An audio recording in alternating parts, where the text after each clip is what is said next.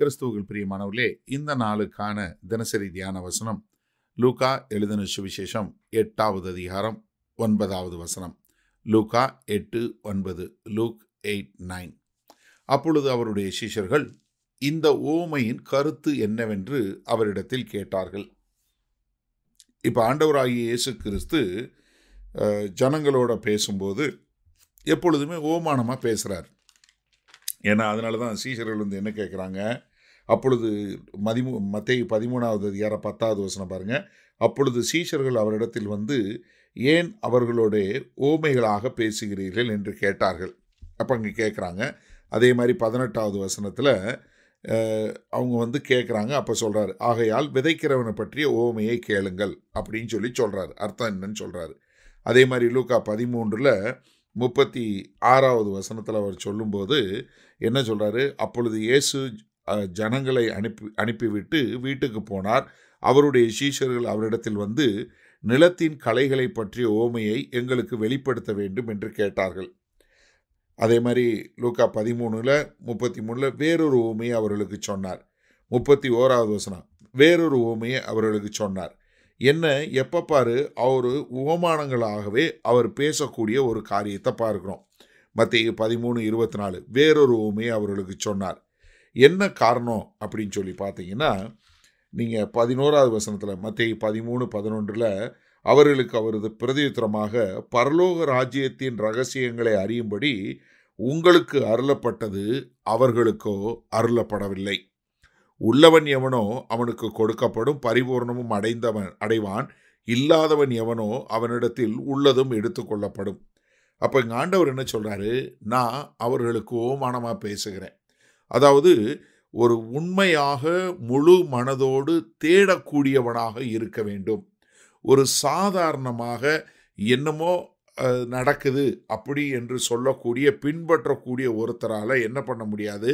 அவங்களால இந்த தேவனுடைய ராஜ்யத்தின் ரகசியங்களை அறிஞ்சு கொள்ள முடியாது. அப்போ ஒரு தேடக்கூடியவனாய் ஒரு தீர்மானமாய் ஒரு பிரத்யேகமாக முயற்சி எடுத்து தேடாத போது அவர்களால் தேவனுடைய ராஜ்யத்தின் ரகசியங்களை அறிஞ்சு கொள்ள முடியாது. இப்போ நீங்கள் யோசிங்களேன் வேத வசனத்தை ஒரு ஒவ்வொரு நாளும் ஆராய்ந்து ஆராய்ந்து படிக்க படிக்க உங்களுக்கு அந்த வசனத்தின் மேல் ஈர்ப்பு உண்டாகிறது. தேவனுடைய ஆழத்துக்குள்ளே நீங்கள் போகக்கூடியவங்களாக இருக்கிறீங்க. ஆனால் ஒரு சிலர் என்ன பண்ணுறதில்ல பைபிளே வாசிக்கிறதில்ல. ஞாயிற்றுக்கிழமை சபைக்கு வந்தால் போதும். ஏதோ அந்த ஒரு இருபது நிமிஷத்தில் என்னமோ கேட்குறாங்களோ அதை மட்டும் கேட்டுட்டு அவ்வளவுதான். அப்போ அவங்க என்ன? மேலோட்டமானவர்கள். நுனிப்புல் மேயிறவங்கன்னு சொல்லுவோம் இல்லையா? ஆனால் இங்கே என்னென்னா யார் வந்து தேவனை இன்னும் அதிகமாய் அறிந்து கொள்ள வேண்டும்? இவ்வோமானங்களாக இல்லை வேறு ஒரு காரியங்களாக பார்க்க கேட்குறவங்க தேவனுடைய ஆழத்தை அறிந்து கொள்ள மாட்டார்கள். அதனால தான் தேவன் இங்கே நமக்கு ஓமானமாக பேசுகிறார். சரி இந்த நாளில் இந்த வசனத்தை நம்ம எப்படி எடுத்துக்கொள்வது? அதாவது ராஜ்யத்தினுடைய ரகசியத்தை அறிஞ்சு கொள்ளணும்னு வைங்க. இப்போ ஒரு ரகசியம் இருக்குது அந்த ரகசியம் இருக்குன்னா அந்த ரகசியம் என்னங்கிறத நீங்கள் கண்டுபிடிக்கணும். கண்டுபிடிக்கிறதுக்கு முதல்ல என்ன செய்வீங்க? தேட ஆரம்பிப்பீங்க. தேடுறவங்க அடுத்து என்ன பண்ணுவீங்க? அதுக்கு என்ன குழு? ஏதாவது ஒரு வழி சொல்லுங்கள் ஏதாவது ஒன்று கொடுங்கன்னு கேட்குறீங்க அதை கேட்குறீங்க அதற்கு பின்பாக இந்த புதையல் எங்கே இருக்குன்னு தேடி கண்டுபிடிச்சு புதையலை எடுக்கிறீங்க. அதே மாதிரி தான் தேவனுடைய ராஜ்யத்தினுடைய ரகசியங்களும் மறைக்கப்பட்டிருக்கிறது. அது வெளிப்படுத்தப்பட வேண்டும் என்றால் உங்களுடைய மனக்கண்கள் திறக்கப்பட வேண்டும். அதனால தான் காதுள்ளவன் கேட்க கடவன் என்று ஆண்டவர் சொன்னார்.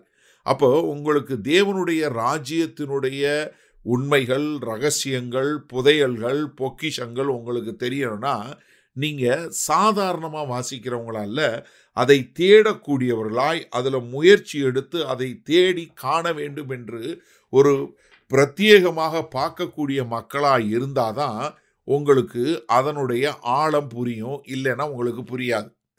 அப்போது நீங்கள் எப்படிப்பட்டவங்களாக இருக்கணும்? ஆண்டவரே எனக்கு இந்த வார்த்தை புரியல. ஆண்டவரே எனக்கு இந்த வசனம் புரியல. எனக்கு சொல்லி தாங்க. எனக்கு அருமையானவர்களே இப்போ நான் எனக்கு நான் வந்து உங்களுக்கு சொல்லி கொடுக்குறேனே. எனக்கு நான் வந்து உட்காந்து உடனே டைரெக்டாக வந்துடுறதில்ல உட்காந்து ஒவ்வொரு நாளும் வேத வசனம் வாசித்து தேவன்கிட்ட கேட்டு மீதி வசனங்களோட மீதி கமெண்ட்ரிஸோட பார்த்து மீதி எல்லாத்தையும் ஒப்பிட்டு பார்த்து ஒரு முயற்சி எடுத்து அதற்கென்று நேரம் செலவழித்து அதை படித்து அதில் தேரும்போது தான் உங்களுக்கு என்னால் சொல்லி கொடுக்க முடிகிறது. அதே போல் நீங்கள் ஒவ்வொருத்தரும் தேவனுடைய வார்த்தையினுடைய ஆழங்களை அறிந்து அதன் மூலமாய் தேவனை அறிந்து தேவனுடைய ரகசியங்களை புரிந்து கொள்ள வேண்டுமென்றால் நீங்கள் எப்படிப்பட்டவங்களாக இருக்கணும் அதை தேடக்கூடியவர்களாய் அதை காணக்கூடியவர்களாய் மாறும்போது தான் உங்களுக்கு என்ன வரும்? அந்த வெளிப்பாடு வரும். அப்போது சிலருக்கு வேத புஸ்தகம் மறைக்கப்பட்டதாக இருக்குது சிலருக்கு வெளிப்படுத்தப்பட்டதாக இருக்குது உங்கள் மனக்கண்கள் திறந்தா வேத புஸ்தகம் அது திறந்த புஸ்தகமாக மாறும்.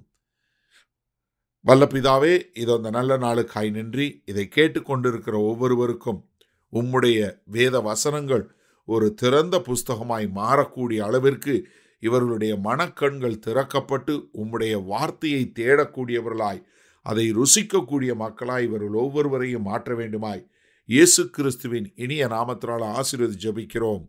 ஜீவனுள்ள வல்ல பிதாவே ஆமேன். கத்தர் உங்களை ஆசீர்வதிப்பாராக. நாளை காலை சந்தி